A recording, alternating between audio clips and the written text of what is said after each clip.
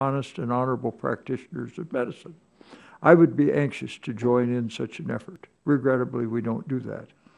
Today, we are dealing with legislation that cuts only in the area of health. No other area is cut. I find that distressing. And in their efforts to reconcile these matters, my colleagues have targeted health care and health care alone to cut. They propose Medicaid cuts that would risk the health of our most vulnerable population, including hundreds of thousands of children, under the auspices of, quote, program integrity, when CMS already allows for changes to ensure the vital programs such as Children's Health Insurance Program or CHIP to maintain integrity.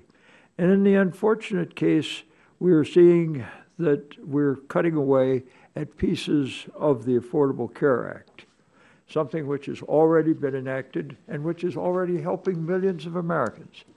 By attempting to take away the funding for health insurance exchanges, my Republican colleagues are going to force the federal government to make decisions that should have been decided by individual states and which could be better decided by those states to address the, the, special concerns that each of the several states happens to have.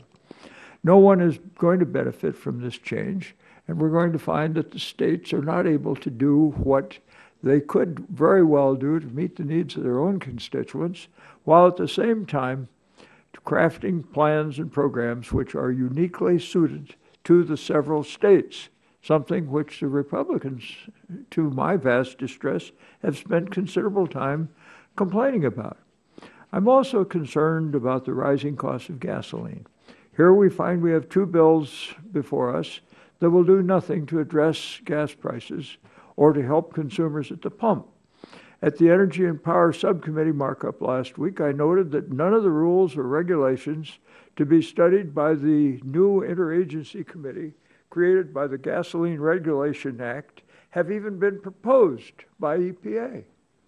So we're going to have a large array of important officials in government dropping important business to study legislation or regulations that have never been issued. A most peculiar use of time and in a unique way, I think, of saving money.